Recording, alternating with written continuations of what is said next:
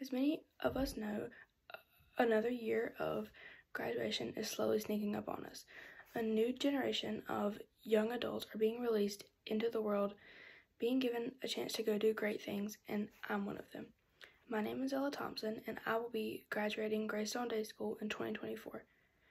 Graduation is a scary time for every single student facing it.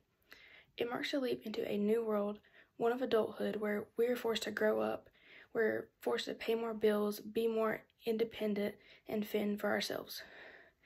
It is an exhilarating step for most, but can be a bit more solemn for others.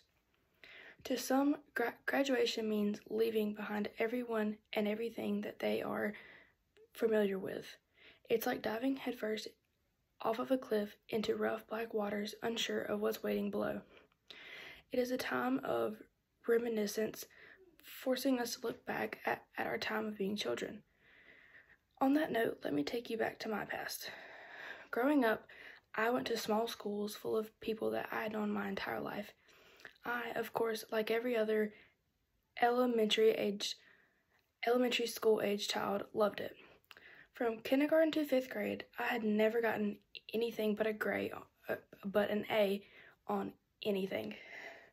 I had high expectations for myself academically, as did everyone else around me. I had always excelled in school, won the science fair, went to STEM camp, went to STEM camp, and overall did everything that I was supposed to. Then comes the next few years of my life, middle and high school. Unlike the rest of my elementary school peers, I did not attend my district middle school. I decided to take the take a dive off of a slightly smaller cliff into slightly clearer waters and attend Gray Stone Day School. Every morning, some member of my family would drive me 45 minutes to a brand new school. I had originally joined Gray Stone due to its college preparatory nature, but the but the academics of the institution quickly became one of the many reasons that I love the school. I developed many close friendships relationships with my teachers and staff and was given incredible opportunities and was shown what a taste of the freedom after graduation would be like. Gray Stone Day School is also the place where I learned some of my hardest lessons. Prior to middle and high school, I had always excelled academically, being the top of my classes and being recognized for it. Then I transferred to a school made for smart kids. Gray Stone Day School teaches some of the most intelligent students I've ever met, and to be honest, I felt inadequate. I felt as if I was just average. I struggled with my schoolwork. I stayed up all night and cried over uh, assignments. I got bad grades. In my mind, I failed. I let down everyone who put their time and effort into seeing that I got to school every day and everyone who wanted to see me succeed. From the struggle, I learned that I may not always be the best at everything, but I can work for it like I am. I put blood, sweat, and tears into being a good into being a good student, and it paid off.